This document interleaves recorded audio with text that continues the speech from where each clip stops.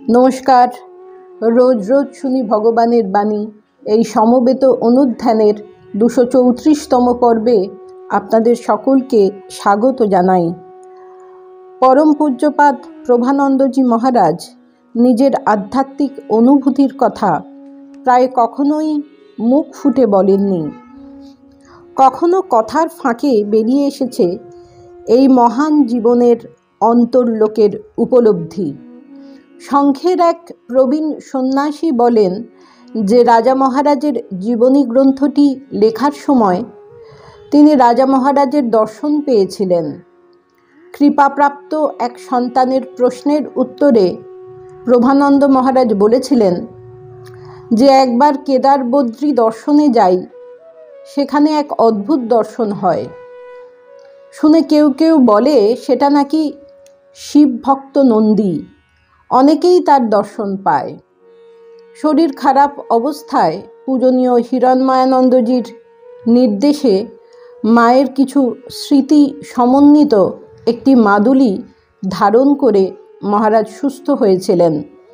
একদিন এক সন্ন্যাসী যখন বলেন যে তার বইগুলির মধ্যে শারদানন্দ চরিত সেরা, তখন তিনি ওই মাদুলি ধারণের কথা উল্লেখ করে বলেছিলেন এটি ব্যবহার করে সুস্থ হবার পর মনে হলো শ্রী শ্রী মাকে কিছু উপহার দিই। অনেক ভেবে তাই শারদানন্দ চরিত লেখা হয়েছিল। জানো তো, এটি লেখার সময় আমি মায়ের প্রসন্ন মুক্তি চিন্তা করতাম। লখনৌতে ভয়ানক শারীরিক অসুস্থতার মুহূর্তে মা তাকে স্বয়ং এসে রক্ষা করেছিলেন। এই আভাস তিনি দিয়েছিলেন। পূজনীয় মহারাজের একাগ্রতা ছিল গল্পের মতো। বাবুরাম মহারাজের একটি বই লেখার প্রস্তুতি নিচ্ছিলেন। স্বামী প্রেমানন্দজির সম্পর্কে যে সকল বই পাওয়া যায়, তার সবগুলি তিনি পড়েছিলেন। আবার গবেষণার জন্যে কোনো কোনো জায়গায় গিয়ে নিজের চোখে স্থান পরিদর্শনের পরিকল্পনাও তার থাকত। সে সময় একদিন একটি কাজ নিয়ে ঘরের ভিতর গিয়েছেন সেবক। তার কাছে দাঁড়িয়ে আস্তে করে ডেকেছেন একবার, দুবার। কিন্তু তার কোনো হুঁশ নেই। এভাবে দু তিনবার হবার পরে তিনি যখন শুনলেন, অবাক হয়ে সেবককে বললেন, মহারাজ, তুমি এসেছিলে নাকি? একই রকম ঘটনার সাক্ষী হয়ে আছে আরও অনেকে। নিয়মিত সাধন ভজনে তার কোনো ছেদ পড়ত না। একভাবে সোজা হয়ে দু ঘণ্টা বসে জব ধ্যান করতেন। যখন শুয়ে থাকতেন, তখনও দেখা যেত হাতে কর গোনা চলেছে। ঘুমের মধ্যেই জপ চলত। পূজনীয় মহারাজের রুটিন লাইফ ছিল দেখার মতো। ভোর সাড়ে তিনটে উঠে মন্দিরে যেতেন। সোয়া পাঁচটায় ঘরে ফিরে এসে স্নানাদি সেরে হাঁটতে হাঁটতে সব মন্দিরে প্রণাম করে কখনো কখনো নীলাম্বরবাবুর বাগান বাড়িতে গিয়ে মাকে প্রণাম করে আসতেন। ছটা কুড়ি নাগাদ ঘরে পৌঁছে যেতেন।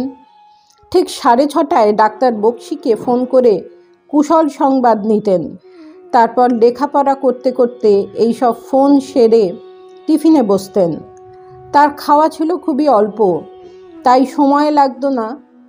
খানিকটা লেখাপড়া করে আটটা পনেরো নাগাদ অফিসে চলে যেতেন। প্রত্যেকটি কাজই ছিল সময়ের বাধা ধরা নিয়মের মধ্যে। এরই মধ্যে তিনি প্রত্যেক সপ্তাহে অন্তত একবার আরোগ্য ভবনে গিয়ে বৃদ্ধ সাধুদের এবং সেবা প্রতিষ্ঠানে অসুস্থ সাধুদের দেখতে যেতেন। কোনো সাধু অসুস্থ হলে তিনি যেখানেই থাকুন নিয়মিত খোঁজ নিতেন। এর মধ্যেই চলত রামকৃষ্ণ সংগ্রহ মন্দিরের কাজ। সংঘের আদর্শকে ধরে সারা জীবন চলেছেন। কখনো কোনো আপোষ করতে তাকে দেখা যায়নি। সংঘগত প্রাণ ছিলেন তিনি। এই সংঘের মধ্য দিয়েই দর্শন করেছেন সচল, জীবন্ত শ্রীরামকৃষ্ণকে, শ্রী শ্রী মাকে, স্বামীজিকে। একটি সাধু সমাবেশে গভীর আবেগের সঙ্গে মহারাজ বলেছিলেন, মনে রেখো ঠাকুরমা স্বামীজি আর রামকৃষ্ণ সংঘ এদের মধ্যে কোনো পার্থক্য নেই। এই সত্তা চতুষ্টয়কে উপলব্ধির সাধনা এ যুগের শ্রেষ্ঠ সাধনা। সংঘগুরুকে এবং প্রবীণ সন্ন্যাসীদের খুব সম্মান করতেন তিনি। প্রভানন্দ মহারাজ তখন ভাইস প্রেসিডেন্ট। বেলুন মঠে দুর্গাপুজোর ষষ্ঠীর বোধনের পুজো চলছে। পরম পূজনীয় প্রেসিডেন্ট মহারাজ স্বামী স্মরণানন্দজি। তিনি এসে বসেছেন।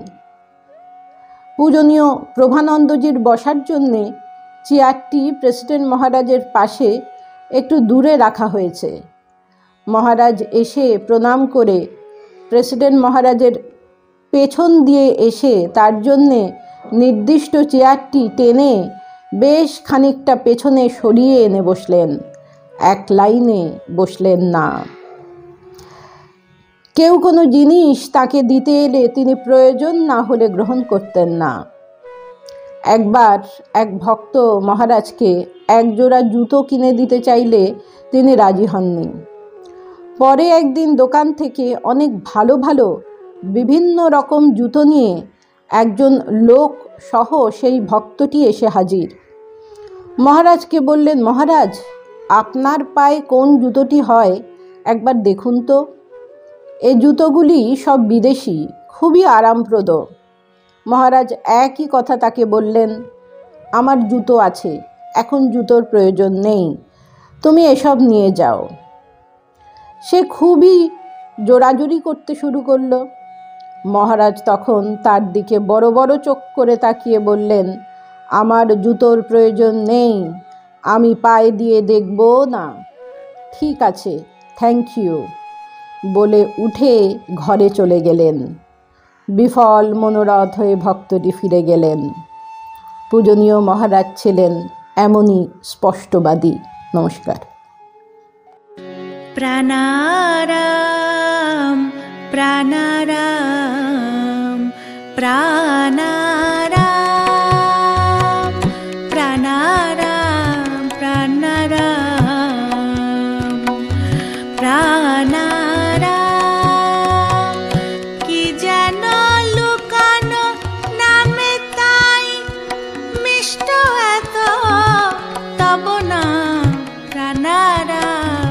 তব না প্রাণারাম প্রাণারাম